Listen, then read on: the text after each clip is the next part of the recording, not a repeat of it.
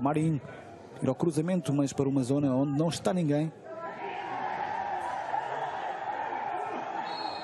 Atenção, agora aqui alguma dúvida porque Nazirov tocou a bola, ao que tudo indica, dentro da área, ainda não tinha saído e por indicação do árbitro auxiliar dá pontapé de penalti. Aqui um lance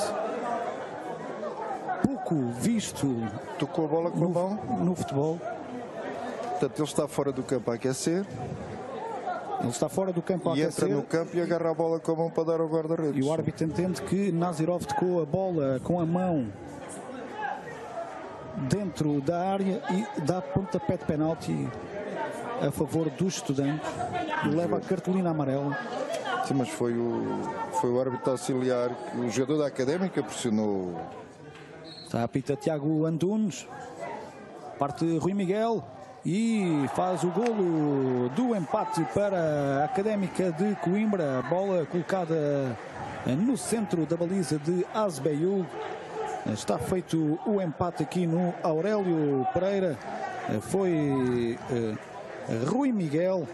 Já no jogo da primeira volta tinha dado os três pontos à Académica também através de um pontapé de penalti. E aqui no Aurélio Pereira transforma também novo pontapé de penalti a favor eh, da equipa de Costinha.